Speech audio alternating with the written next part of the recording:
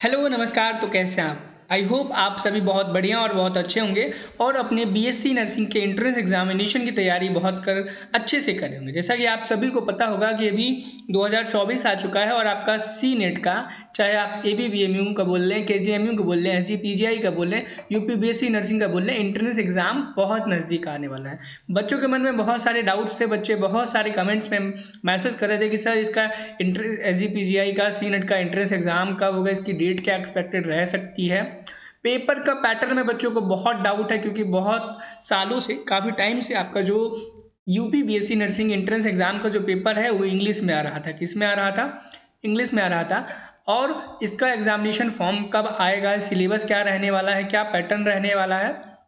कितने नंबर का पेपर होने वाला है? इन सारे टॉपिक्स पे हम डिटेल डिस्कशन करने वाले हैं। क्या करने वाले डिटेल डिस्कशन करने वाले हैं। तो देखिए हम आ, एक एक डिटेल पे बात करेंगे, चाहे वो आपका सिलेबस हो, चाहे एग्ज़ाम पैटर्न हो, कुछ भी हो तो देखो, आपको इसी प्रकार की जुड़ी हुई जानकारी यूपीएससी इंजीनियरिंग से मिलने के लिए आप क्या कर सकते हैं, हमारे चैनल को सब्सक्राइब करें, क्या करें सब्सक्राइब करें और साथ ही साथ में आप डिस्क्रिप्शन बॉक्स में दिए गए व्हाट्सएप ग्रुप का लिंक ज्वाइन कर लें, क्योंकि वहाँ पर आपको आने वाली सारी इंपॉर्टेंट डेट्स डेट हो, चाहे फॉर्म हो, और सबसे खास आपकी बीएससी नर्सिंग की प्रिपरेशन को खास बनाने के लिए आपके लिए बहुत अच्छे इंपॉर्टेंट क्वेश्चन की प्रैक्टिस कराई जाती है, जिसकी सूचना, जिसके क्वेश्चंस जिसके पीडीएफ आपको कहाँ पे मिलते हैं? व्हाट्सएप ग्रुप में। क्या करें? व्हाट्सएप ग्रुप में मिलते हैं।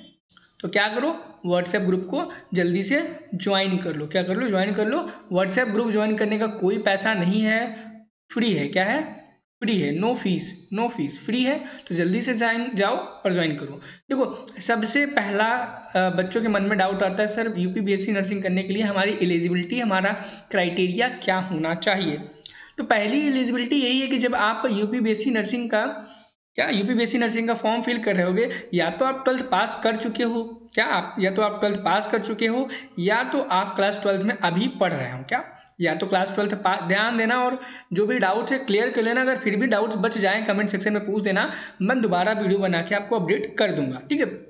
पहला तो हो गया ट्वेल्थ पास होना चाहिए या आप ट्वेल्थ अपीयर कर रहे हो। अब बहुत सारे बच्चों को डाउट होता है गर्ल्स कर सकते हैं या बॉय कर सकते हैं या फिर बोथ कर सकते हैं। तो देखो, सबसे पहली मैं आपको बात बताना चाहूँगा कि नर्सिंग का मतलब होता है नर्स करना, यानी कि देखभाल करना। किसकी?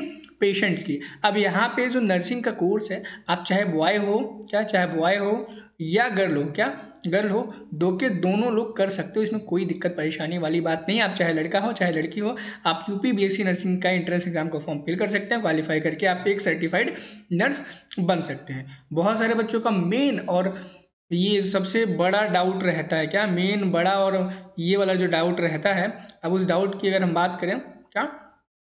उस डाउट की अगर हम बात करें कौन सा डाउट ये वाला कि सर इसका एग्ज़ाम फॉर्म कब आने वाला है? क्या? एग्ज़ाम फॉर्म कब आएगा? यूपी बीएससी नर्सिंग का?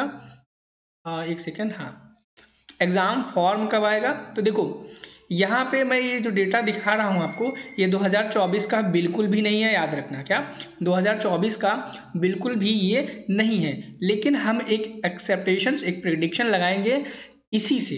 क्या इसी से लगाएँगे क्योंकि ये 2023 का है, जिस प्रकार से, जिस रूटीन में 2023 में एग्ज़ाम हुआ होगा सेम उसी प्रकार से, उसी रूटीन में 2024 में भी इंट्रेंस एग्ज़ाम होने की संभावनाएँ हैं और उसी टाइप से ही होंगी। देखो, अगर एग्ज़ाम देखो यहाँ पे सबसे पहले देखेंगे एप्लीकेशन अवेलेबल ऑनलाइन यानी कि आपका जो फॉर्म है, वो अप्लाई शुरू होना स्टार्ट हो जाएँगे पंद्रह अप्रैल से ये 2023 का था। तो आप ऐसा मान के चलो कि आपका 10 अप्रैल से 20 अप्रैल के बीच में कहीं ना कहीं शुरू हो जाएगा। कितना भी लेटर लतीफ हो, कुछ भी हो, आपका 10 से 20 अप्रैल के बीच में हो जाएगा। क्या? 10 से 20 अप्रैल के बीच में यहाँ से हो जाएगा। कहाँ पे? 10 से 20 अप्रैल, ठीक है? 10 से 20 अप्रैल। और दूसरा है, क्या? दूसरा है कि आपका लास्ट डेट ऑफ़ अप्लीकेशन 18 मई दिया है तो आप 25 मई मान लो। क्या? आप 25 मई मान लो इसको। 25 मई मान लो। 25 मई।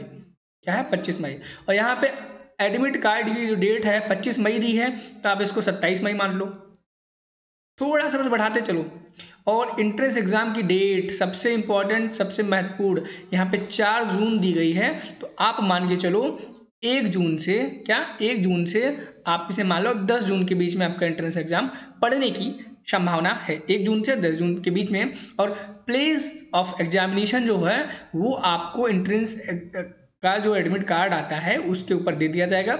रिज़ल्ट का डिक्लेशन आपको A B V M U की ऑफिशियल वेबसाइट पे मिल जाएगा। यहाँ तक कि हम लोग भी आपको अपनी वेबसाइट पे रिज़ल्ट शो कराने का एक लिंक प्रोवाइड करा देंगे, जहाँ से आप अपनी वेबसाइट अपने रिज़ल्ट को देख सकते हो। इस पेज का कंक्लूजन क्या निकला? इस पेज का कंक्लूजन यही निकला कि आपका एग्ज़ाम एनी हाउ पन बीस अप्रैल तक आ जाएगा। क्या हो जाएगा? बीस अप्रैल तक का आपका फॉर्म आ जाएगा।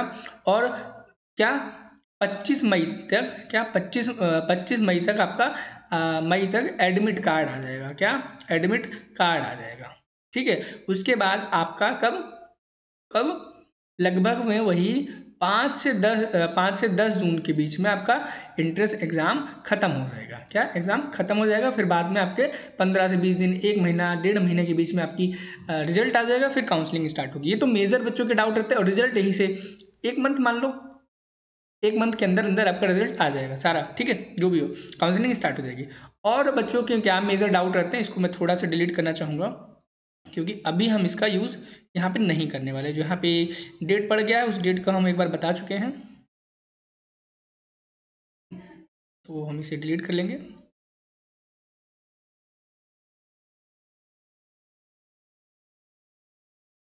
ठीक है?